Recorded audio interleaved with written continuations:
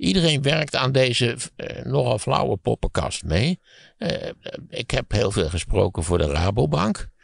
Daar hebben ze zo'n jaarvergadering. Het is natuurlijk een coöperatieve organisatie, dus ze hebben ook zo'n raad. En dan kunnen mensen die kunnen protesteren tegen de gang van zaken of commentaar hebben.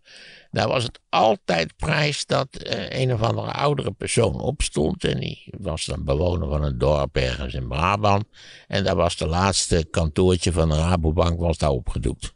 Met als gevolg dat, dat je als bejaarde, dus als je geld wilde trekken, dat je naar de iets grotere stad moest met de auto of met de bus die natuurlijk ook steeds minder was gaan rijden. He, zo, zo, zo eigenlijk. En dan denk je bij jezelf, de Rabobank, is dat die, die bank die miljarden verdient per jaar? En, en daar kan er dus niet twee dagen in de week in, in een Brabants dorp een kantoortje af. Wat is dat voor een waanzin? Voor, voor klantonvriendelijke waanzin. Hè? En op dit, op dit punt zijn toch tal van organisaties zijn geen reet geïnteresseerd in het lot van, van hun klanten en hun leden, of hoe je het precies wil noemen. Hmm. Ja, ik wil zelf nog wel een verschrikkelijk voorbeeld ook noemen. Ik ben al jaren, het heeft er geen zak mee te maken, maar ik kan het, moet het toch even kwijt, want ik heb er mijn uren aan zitten ergeren. Ik ben al jaren, heb ik de museumjaarkaart.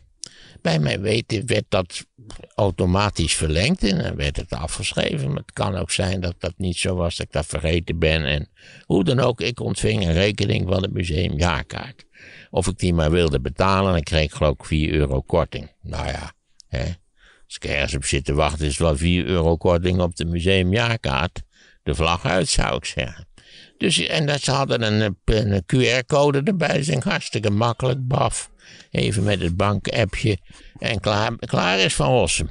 Maar nee, want mijn bankapp weigerde deze QR-code te accepteren. En ik kreeg een mededeling dat ik op alle terreinen totaal nieuwe, de nieuwste versie van alle apps moest installeren. Wat gek is, want ik heb verder helemaal geen klachten gehad over die QR-code.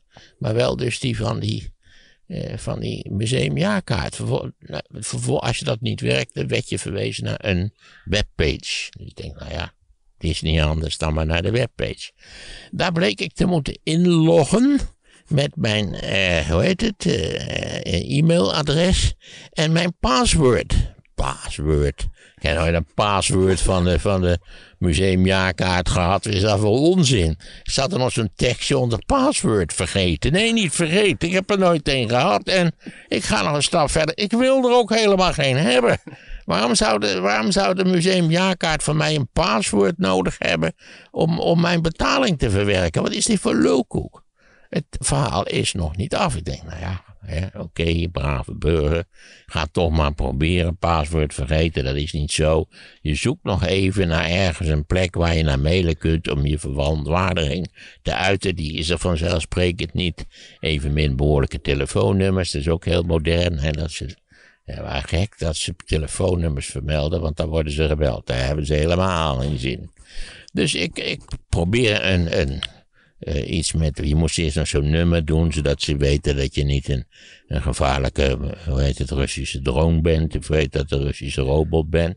Allemaal gedaan. Waarop dat ding uh, tegen mij zegt, Kwiek, dit is een onjuist e-mailadres, of een vals e-mailadres, ben ik even vergeten. hoezo? Wat is er mis met mijn e-mail? Maar waarom besluit je museumjaarkaart plotseling dat mijn e-mailadres niet in orde is? Dus ik zo braaf ben, ik heb nog een keer geprobeerd. Opnieuw, nee, met deze valse e-mailadressen gaan wij niet aan de slag. Dat kan maar zo niet. Er moet met een juist e-mailadres en een paswoord ingelogd worden. Waarom moet je überhaupt inloggen om, om een doodnormaal rekeningetje van de museumjaarkaart te betalen? Wat is dat voor onzin? We hebben het er al eerder over gehad. Als je zo'n schoen bestelt op dat godvergeten internet, moet je inloggen met een paswoord. Wat doe je dan? Schoenveter. Nou ja. Maar bij Amazon lukt het je wel heel goed. Daar heb je het zo besteld. Ja, maar Amazon is een top, tip-top bedrijf.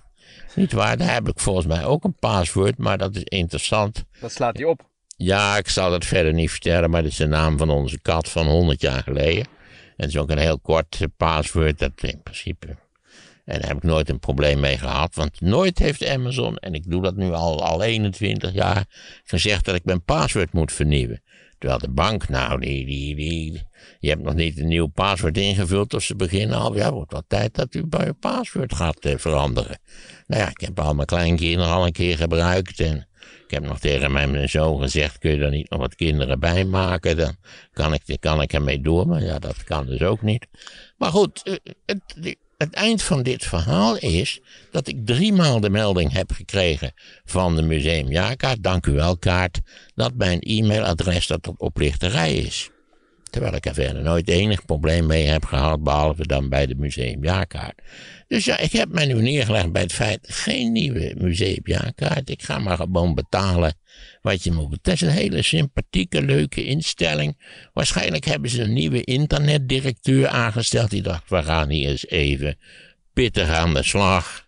Inloggen, uitloggen, passwords erbij, geen gelul, QR-codes, we strooien het er allemaal doorheen. wat kan ons die verrossum schelen, die onhandige prutsen, die nooit iets nuttigs kan. Nou, dus ja, ik heb besloten geen museumjaarkaart. Jammer. Het is een hartstikke nuttige instelling. Ik juich het van harte toe, maar ze hebben zelf hebben ze mij in feite uh, terzijde gezet. Hè? Hoe lang ben je mee bezig geweest, als je het allemaal Nou, ik ben toch zeker, eh, ik ben meer dan een uur bezig geweest toen ik het opgegeven. Ja. Het, want je kon natuurlijk niet vinden wat fout.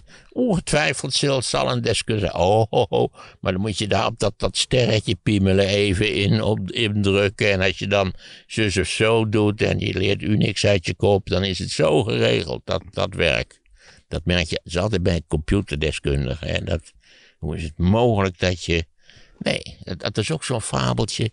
Ik heb notabene een Apple, dus dat is allemaal zogenaamd mensvriendelijk. Dat hele fabeltje dat computers mensvriendelijk zijn. Dat is onzin, dat zijn ze helemaal niet. Zodra er ook maar iets heel simpels misgaat, begrijp je er geen kloot van hoe het zit. Echt 0,0. Ik zou, je kunt, wat ik wel eens doe, is dat je googelt en dan het probleem intikt dat je hebt. Dus je zou nu kunnen intikken op Google, ik kan museumjaarkaart niet betalen. Hoe los ik dit op? Nou, waarschijnlijk krijg je dan van, dan moet u eh, een krantenwijk nemen, dan kunt u hem wel gaan betalen natuurlijk. ja, 59, het is 59 euro. Ik zou het graag betalen, maar ja, sorry, ze maken het zelf onmogelijk. Nou, misschien dat ze nu naar aanleiding van deze oproep je gaan bellen. Ik heb geen idee, maar ik, ik, het was diep frustrerend. Waarom? Waarom sturen ze niet een doodgewoon rekeningetje dat ik het doodgewoon betaal? Ja, een accept giro. Bijvoorbeeld. Ja. Hè? Om maar een kleinigheid te noemen. Met zo'n eindeloze cijfercode die je dan ook nog goed moet overtypen natuurlijk. Ja. Nou, we kwamen hier dus op de, vanwege de bank. Ah, vanwege de bank. De Rabobank die de kleine kantoortjes dicht gaat doen. Precies, sorry dat ik weer helemaal afgeleid ben geraakt door hem. Omdat het ook weer aansluit bij mijn dat eeuwige gezeik dat alles veel makkelijker is geworden door het internet. Helemaal niet. Eh, vroeger kon ik dit heel normaal betalen, maar nu eh, wel inloggen. Hè? Heeft u ingelogd? Nee, ik heb niet ingelogd. Waarom zou je in godsnaam in moeten loggen om een schoen te kopen? Of, een, of 59 euro aan de, aan museumjaarkaart te betalen? Wat is dat voor onzin? Nou, oké. Ja, en altijd was er wel een bejaarde die dan zei, opstond en zei van ja, waarom was dat nou? Wat maakt het de Rabobank uit om in zo'n kleine gemeente, zo'n dorp waarschijnlijk, twee keer in de week een ochtendje een kantoortje open te houden? Niks. Dat was allemaal wegbezuinigd, meneer.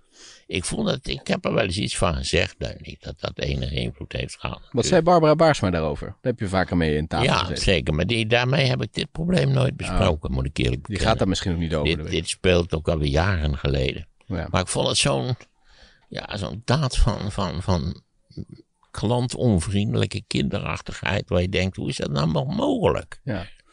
Of al die banken die al een vier uur middags dichtgaan omdat ze het geld moeten tellen. Als ik het goed begrepen heb. Allemaal van die rare, ja, van, van totaal klantonvriendelijke operaties. Hmm.